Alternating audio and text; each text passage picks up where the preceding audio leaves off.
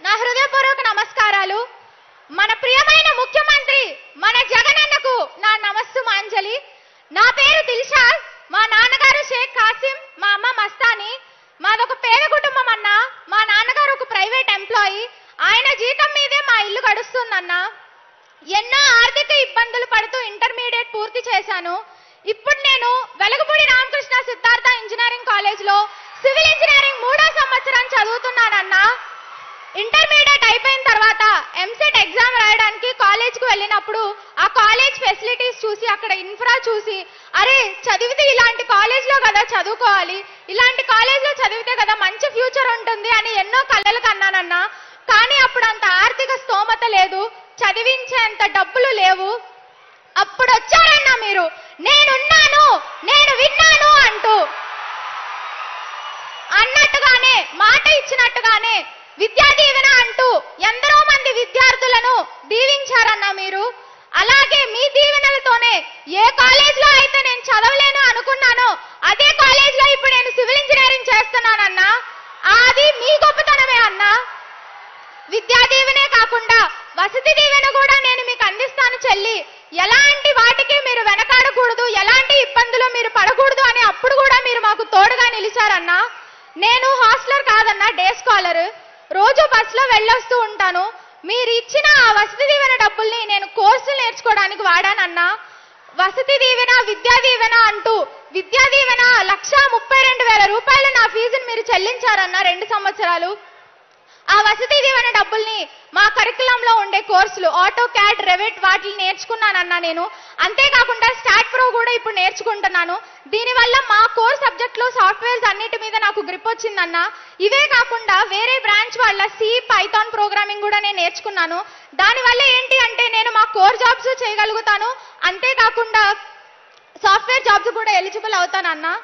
ఇదంతా మీ వల్లనే సాధ్యమైందన్నా. ఎవరన్నా మనకి సాయం చేస్తే ఆ సాయాన్ని ఎప్పుడూ మర్చిపోకూడదు. మనం ఎవరికన్నా సాయం చేస్తే ఆ సాయాన్ని గుర్తుంచుకోకూడదు అని పెద్దలు చెప్పారన్నా.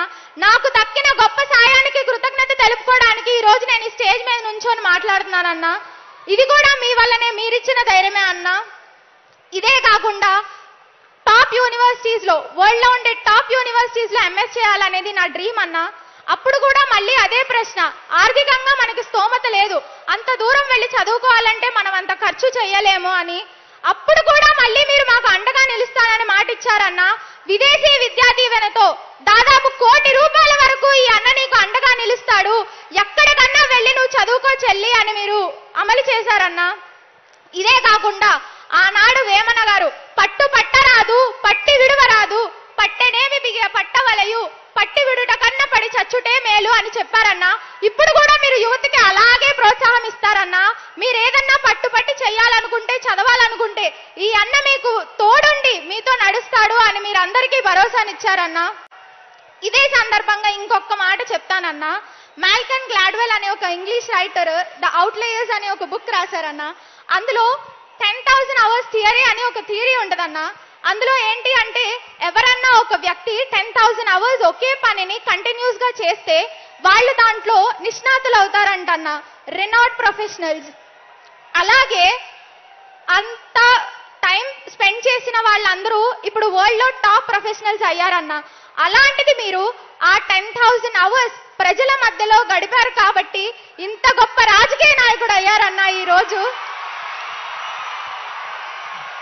అంతేకాకుండా నేను కూడా ఆ టెన్ థౌసండ్ అవర్స్ థియరీని పాటిస్తానని వరల్డ్లో గ్రేట్ ప్రొఫెషనల్ దిల్షాద్ అని నా పేరు వినిపించిన రోజు మళ్ళీ మీ వద్దకు వస్తానని ఇది మీ దిల్షాద్ సార్ మీరు చెక్కిన శిల్పం ఇది మీరు చెక్కిన ప్రొఫెషనల్ ఇది అని మళ్ళీ ఈ స్టేజ్ మీద నించొని మాట్లాడతానని మీకు నేను మాటిస్తున్నానన్నా.